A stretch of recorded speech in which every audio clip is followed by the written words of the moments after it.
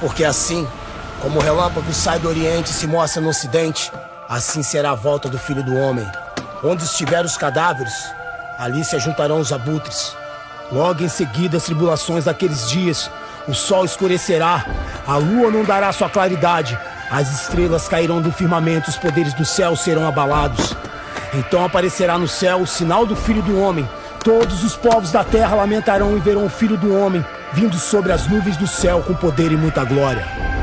Até o mundo está sentindo, os sinais já vão surgindo, a Bíblia toda se cumprindo e você se iludindo. Até quando você vai insistir e não acreditar? Pra logo o coração e deixa a verdade entrar. Até quando você vai insistir e não acreditar?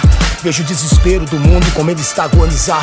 Vejo mães a chorar, preocupado com os filhos. Seus filhos nem aí se a lágrima da mãe está a cair. Respeito não se ouve mais falar. Os verdadeiros valores foram invertidos, eles botaram os cifrões em seu lugar.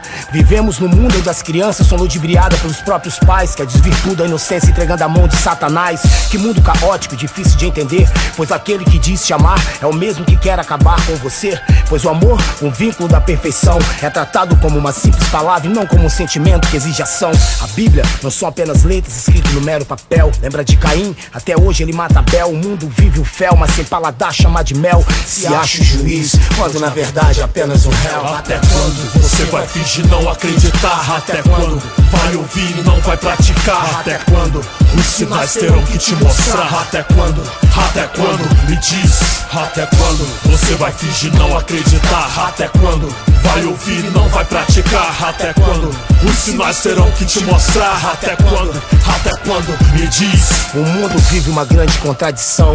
Quer colher paz plantando guerra, quer falar de amor sem ao menos ter coração. Ilusão.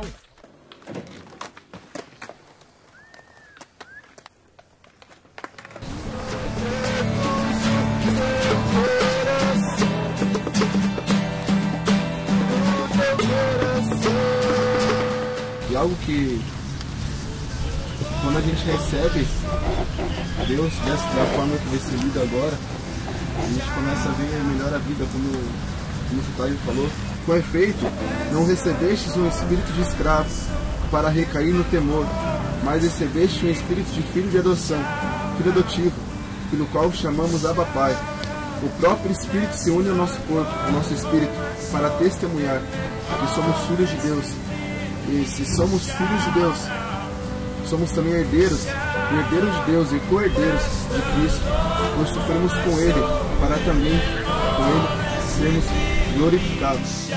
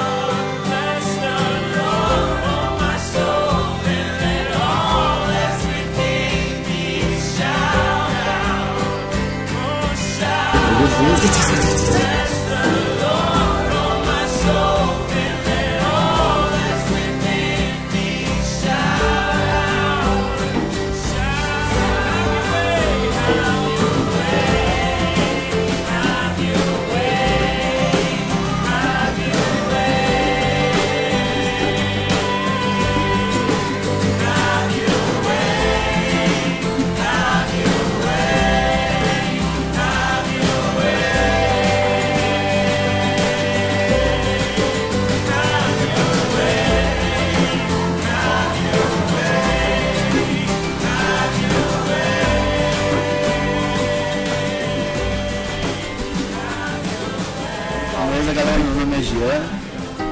Ando de skate aí já há mais de 10 anos, apesar de eu não praticar com muita frequência.